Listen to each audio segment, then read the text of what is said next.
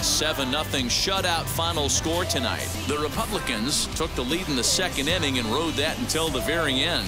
Corbin Burnes pitches well enough to get the W. Antonio Senzatela only completed two innings and is charged with the loss. So that just about does it for Mark DeRosa, Dan Plesac, and our entire crew. I'm Matt Vasgersian. You've been watching MLB The Show.